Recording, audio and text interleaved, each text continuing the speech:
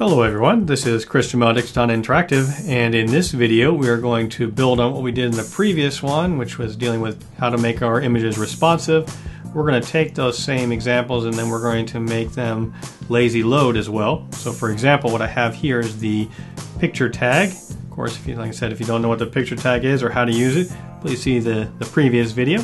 But what I have on the page is actually code that loads in 10 images.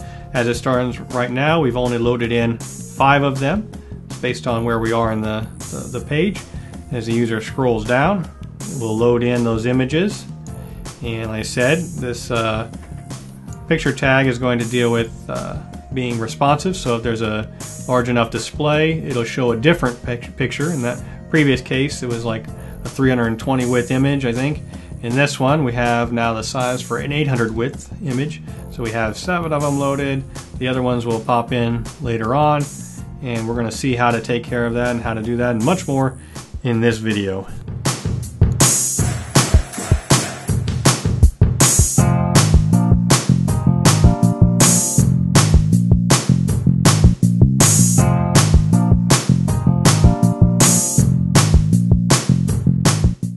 All right, so let's go ahead and get started here.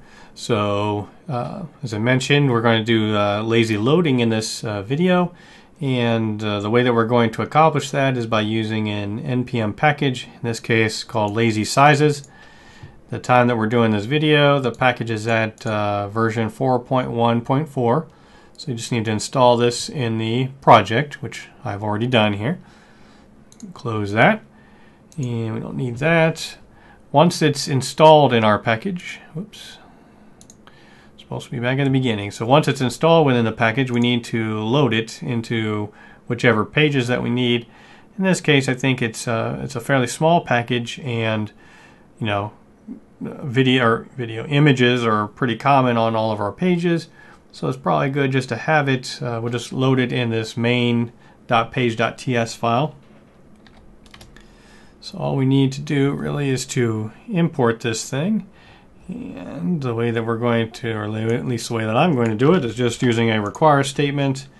I'm going to get complained at by tslint, but I'm going to ignore it.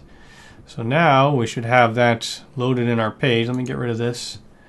We can check if we go to the console here. Ignore that. Interesting. Let's see if that causes any problems. But we can see that uh, lazysizes is now in our uh, global namespace, so it's been loaded. Let's come back to the network tab and close my eyes and forget that I saw that error over there. So let's make it a little bit bigger here. All right, so the first thing off, uh, what we're going to do is to um, load some images into our page. And by load some, I mean basically the same image. All I've done is copied it and added a you know, an index so that the page doesn't cache it. We'll save it, we'll refresh, and we'll see over here that we have 1 through 10 images have been downloaded uh, in our page, regardless of obviously where we are or whether we'll ever get anywhere close to it. Right? So the first thing that we're going to do is we're going to take this code. So let's just copy and paste it down here and we want to modify it in such a way as to just have an image tag, nothing fancy, there's no responsiveness, it's not being served differently based on different uh, pixel densities or different size viewports. We just want to lazy load this same image.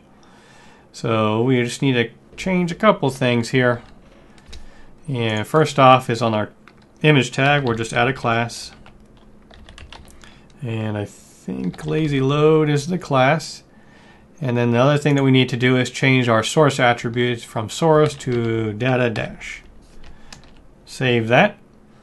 Now if we refresh our page, we should see, oops, helps if I go to the page where we've done it.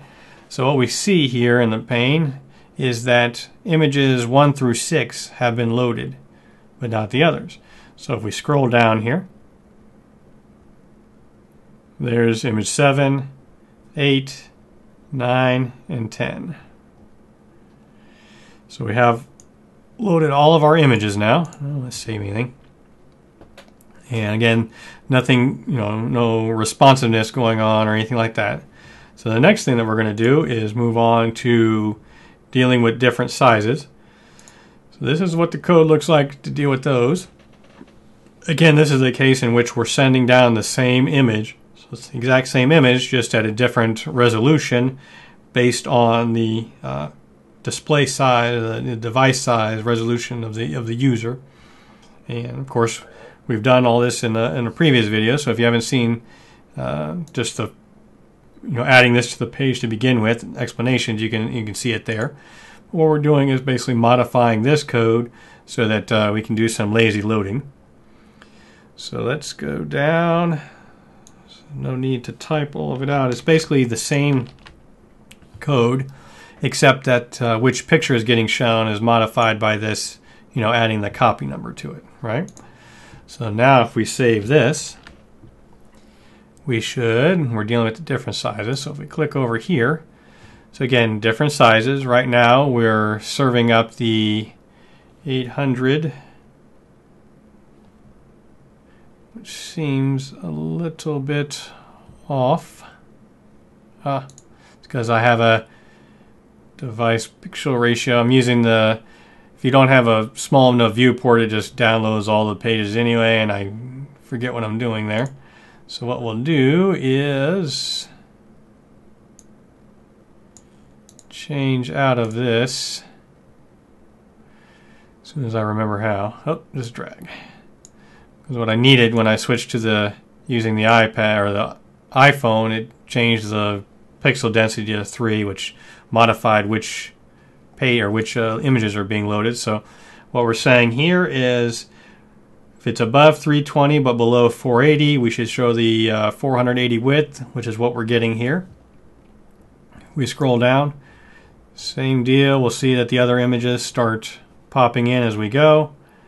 And it works for different resolutions. So for under 320, we're using the 320 width image. Same deal. Loads in for us. And of course, the 800 will work as well. Um, harder to get more space, I guess. Guess we have a little bit of room. What we need to do is be above, what are we looking for? 480. So close. There we go. So now we're above 480, so we're serving the 800 width pixel images, and they come in as we scroll down. So that's the uh, dealing with the uh, um, same image but different resolutions, different sizes. Next up, we're basically going to take the code, which is same size. So this is the one dealing with the pixel density.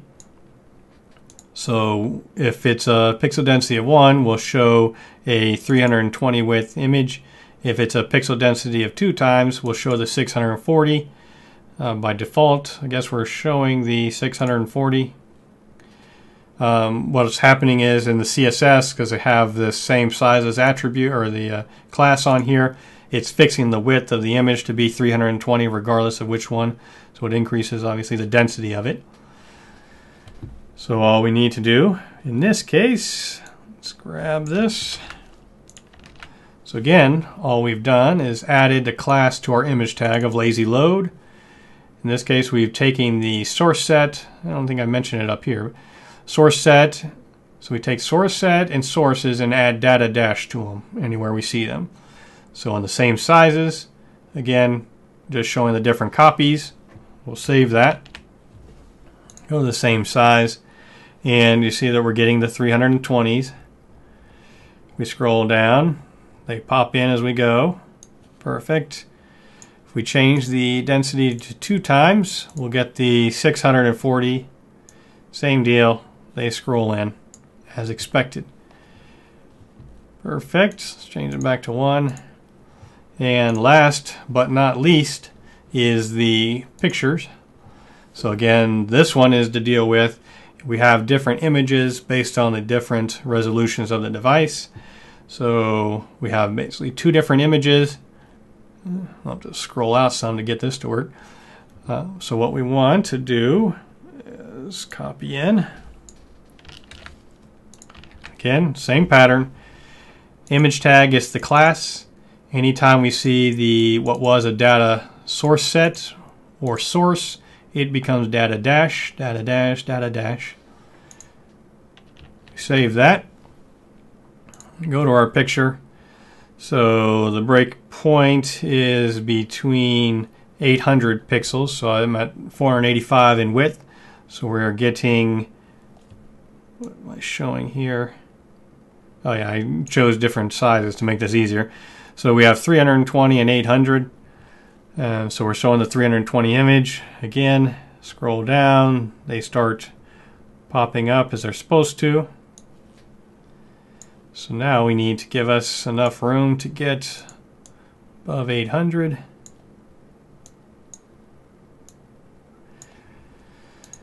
Refresh just to make it easier to see everything. So now we're serving the 800 uh, with images. We scroll down, same deal. They start popping in as well. So it's a very simple process to add the ability to lazy load images, at least using the lazysizes package. So just install the, the package, make sure that it's loaded into each of our pages through adding the uh, require statement to our main.page.ts file, and then updating the images and picture tags such that for each image we add the uh, CSS class lazy load and anytime that we have a source set or source attribute we simply make that data dash instead. Right? So that takes care of uh, lazy loading. I think in the next video we'll talk a little bit of optimizing our images to make them as small as possible. Um, as usual, I want to mention, you know, if you have any comments, questions, or suggestions, you want to see something in particular, please leave it in the comments section below. Should have said at the beginning, but of course the code that you can use, what I was basically copying and pasting from, is in the article for this video, which you can find a link to in the description. And other than that, I will talk to you in the next video. Thank you for taking the time to watch our video. I know that your time is valuable. If you liked the video, please subscribe to our channel and click the thumbs up button, as well as share the video with your friends.